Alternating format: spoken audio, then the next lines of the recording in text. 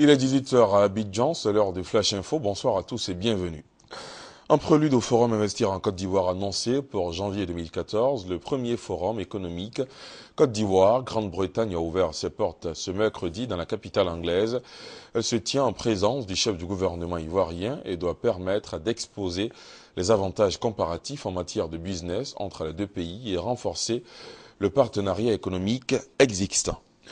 À la de l'actualité économique également, le lancement officiel aujourd'hui de la quatrième édition du prix Abdoulaye Fadiga pour la promotion de la recherche économique. C'était ce matin à Dakar, une initiative de la Banque centrale des États de l'Afrique de l'Ouest, BCEAO. Le prix vise à promouvoir, soutenir et valoriser la recherche économique. Le prix Abdoulaye Fadiga d'un montant de 10 millions de francs CFA et 5 millions de francs CFA pour le prix d'encouragement récompense les jeunes chercheurs dont les travaux auront apporté un éclairage nouveau dans la politique monétaire et économique des États membres de l'Union économique et monétaire ouest-africaine, UEMOA. En bref, toujours la rencontre de haut niveau de l'Union africaine sur la promotion de la paix, de la sécurité et de la stabilité en Afrique a pris fin. Une réunion qui a coïncidé avec le jubilé d'or de l'Union africaine. Dans l'actualité judiciaire, le report du verdict du procès des ex-dirigeants de la filière café-cacao à la semaine prochaine en raison des travaux de réhabilitation du palais de justice. Les ex-barons de la filière café-cacao sont poursuivis pour cinq chefs d'accusation, notamment pour détournement de fonds, abus de confiance, abus de biens sociaux, escroquerie, faux et usage de faux en écriture privée de banque ou commerce. La Côte d'Ivoire a enclenché son processus de migration vers la télévision numérique terrestre avec l'installation aujourd'hui des membres du Comité national de migration vers la télévision numérique terrestre CNM-TNT. Ce comité de pilotage dirigé par la ministre de la Communication, Afoussiata Bambalamine, a pour attribution de mettre en œuvre le projet de migration du pays pour faire basculer la télévision de l'analogique vers le numérique.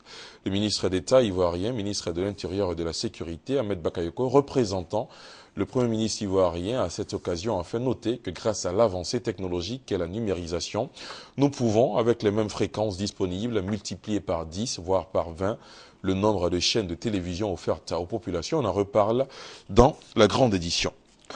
Autre sujet, le rôle du contrôleur aérien dans le processus de certification d'un aéroport, cas de l'aéroport Félix Houphouët-Boigny d'Abidjan.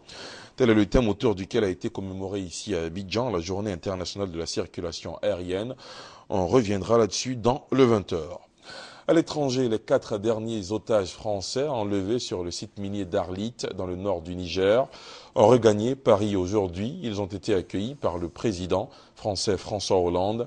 Ils ont été libérés hier après trois longues années de détention.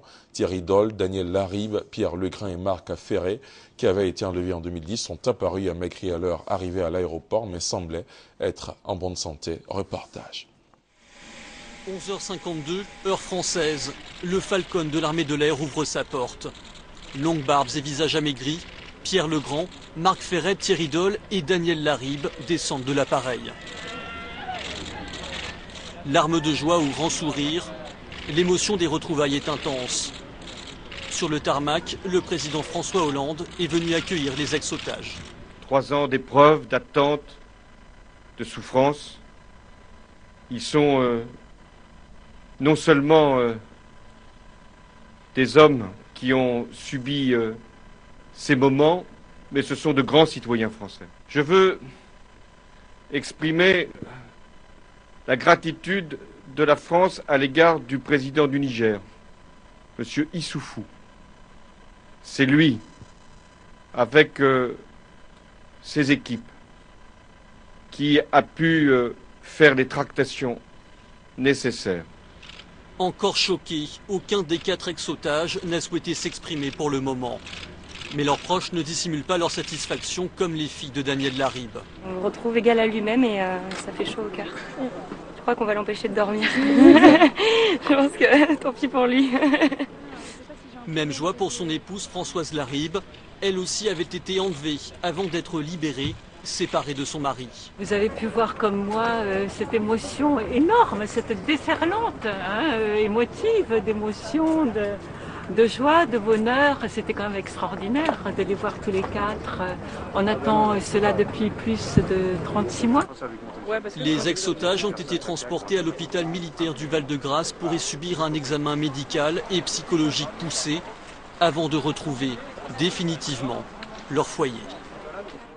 En République démocratique du Congo, les soldats de l'armée régulière, épaulés par les casques bleus de l'ONU, ont lancé l'assaut final contre les rebelles du M23, signe de la défaite des rebelles, la prise du camp de Roman Gabo, qui hébergeait leur état-major avant qu'ils ne prennent la fuite lundi.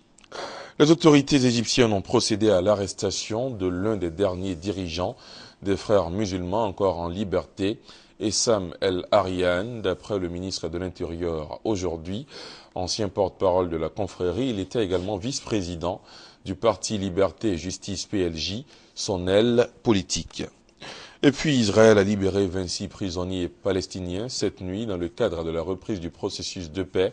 Avant de rejoindre leur famille, ils ont été accueillis à la Moukata, la présidence palestinienne à Ramallah. En parallèle, la radio militaire a annoncé la construction de 1500 logements dans le quartier de la colonisation Ramat Shlomo à Jérusalem. C'est la fin de ce Flash Info. Merci de l'avoir suivi. On se retrouve à 20h. À tout à l'heure.